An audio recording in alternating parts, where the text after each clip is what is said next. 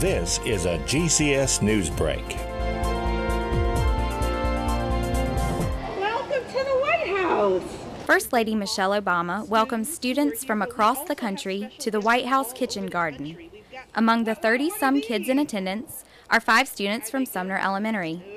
They, along with three of their teachers and principal, were invited to the White House to help plant vegetables in the garden. And we planted radishes, different kind of radishes, and different kinds of carrots. The Sumner third graders were invited to come to Washington, D.C. after writing letters to the First Lady, telling her about plans for their own school garden. Awesome, surreal experience, not only for the children, but for me and all the adults. I mean, as an adult, we were 25 feet, maybe 30 feet away from the First Lady, but the kids were so close and personal to her. She was just so human.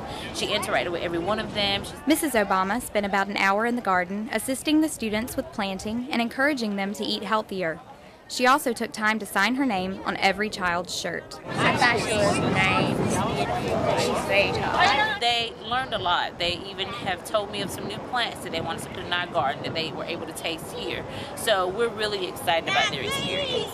He's credited with uniting the two ends of the state together. While in Washington, D.C., the Sumner Group also took in some of the sites, including the U.S. Capitol building and the Smithsonian Natural History Museum.